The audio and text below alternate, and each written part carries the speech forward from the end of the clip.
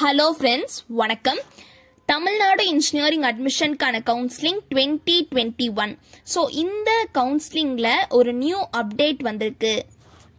அந்த new update பற்றி தான் இன்னைக்கு நம்ம பார்க்க போகிறோம் ஸோ கட் ஆஃப் கால்குலேஷனில் கெமிஸ்ட்ரி கிடையாதா அப்படின்னு சொல்லிட்டு நிறைய பேர் கமெண்ட் பண்ணியிருந்தாங்க. ஸோ ஆக்சுவலி கட் ஆஃப்ல எந்த வித சேஞ்சும் கிடையாது. கட் ஆஃப்ல நீங்க எப்படி கால்குலேட் பண்ணுவீங்கல்ல முன்னாடி அதாவது மேக்ஸ் பிசிக்ஸ் கெமிஸ்ட்ரி வச்சு தான் இந்த வருஷமும் கட் ஆஃப் கால்குலேஷன் அப்படின்றது நடக்கும். மேக்ஸ் அப்படியே mark physics plus chemistry divided by two so நீங்கள் என்ன கட் ஆஃப் கால்குலேட் பண்ணி வச்சுருக்கீங்களோ அந்த கட் ஆஃப் தான் உங்களுக்கு வரும். அதுதான் உங்கள் cut off so cut off கால்குலேஷனில் கெமிஸ்ட்ரியை கால்குலேட் பண்ணுவாங்க கட் ஆஃபில் கெமிஸ்ட்ரியோட மார்க்கும் கண்டிப்பாக கால்குலேட் பண்ணுவாங்க. அப்புறம் எதில் கெமிஸ்ட்ரிக்கு கெமிஸ்ட்ரி மார்க் எடுத்துக்க மாட்டாங்க அப்படின்னா ஃபார் எக்ஸாம்பிளுக்கு இந்த டிஎன்ஏ கவுன்சிலிங் அப்ளை பண்ணுறவங்க லட்சக்கணக்கான பேர் அப்ளை பண்ணுவாங்க. ஒரு ஒன் லேக்கும் மேலே ஸ்டூடெண்ட்ஸ் அப்ளை பண்ணுவாங்க. One point five lakh students apply பண்ணுவாங்க. அது மாதிரி அப்ளை பண்ணுறப்ப இப்போ for example one sixty seven cut ஆஃபே நிறைய பேர் வச்சிருக்காங்க. One sixty seven one sixty seven one sixty seven அப்படின்னு சொல்லிட்டு ஒரு நாலஞ்சு பேர் கட் ஆஃப் வச்சிருப்பாங்க.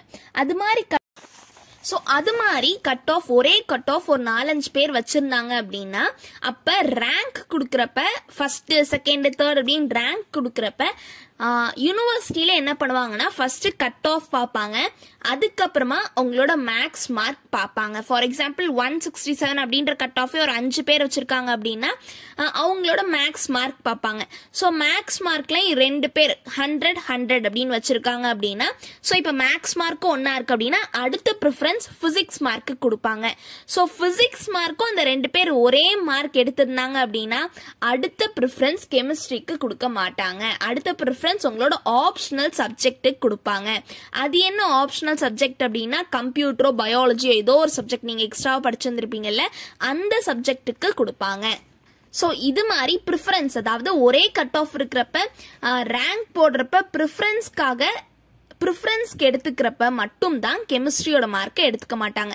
ஸோ அப்போ மேக்ஸ் பார்ப்பாங்க ஃபிசிக்ஸ் பார்ப்பாங்க next optional subject next total mark அப்புறமா date of birth random number எப்படின்னு சொல்லிட்டு ஒரு லிஸ்ட் அப்படியே போயிட்டு இருக்கும் டென்த் மார்க் இதெல்லாம் ஒரு லிஸ்ட் அப்படியே போயிட்டு இருக்கும் ஸோ இது மாதிரி ப்ரிஃபரன்ஸ் பார்க்குறப்ப மட்டும் தான் கெமிஸ்ட்ரியோட மார்க்கை எடுத்துக்க மாட்டாங்க.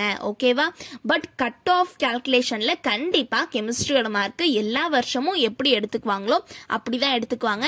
ஸோ சில ஸ்டூடெண்ட்ஸ் வந்துட்டு தப்பான நியூஸ் இந்த விஷயத்த தப்பா புரிஞ்சுக்கிறாங்க. அதாவது கட் ஆஃப் கால்குலேஷன்ல கெமிஸ்ட்ரி மார்க் கிடையாதா? அப்படின்னா மார்க் மாறுமே அப்படின்னு சொல்லிட்டு சில ஸ்டூடெண்ட்ஸ் புரிஞ்சுக்கிறாங்க. ஸோ அதனால உங்க ஃப்ரெண்ட்ஸுக்கும் இந்த வீடியோ மறக்காம ஷேர் பண்ணி விட்டுருங்க. Thank you so much